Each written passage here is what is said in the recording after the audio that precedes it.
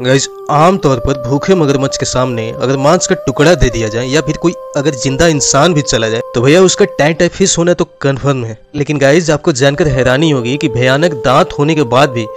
मगरमच्छ अपने शिकार को चबाता नहीं बल्कि सीधा निगल जाता है बिल्कुल सही सुना आपने गाइज दरअसल इस भयानक जानवर के मुंह में दांत तो होते हैं लेकिन उनकी संरचना ऐसी होती है कि वो शिकार को दबोच सो सकते हैं लेकिन चबाकर खा नहीं सकते गाइज यही वजह है कि वो शिकार को दबा के सीधा मुंह से निगल जाते हैं आपको ये जानकर हैरानी होगी गाइज कि मगरमच्छ के चार पेट होते हैं जहाँ से शिकार को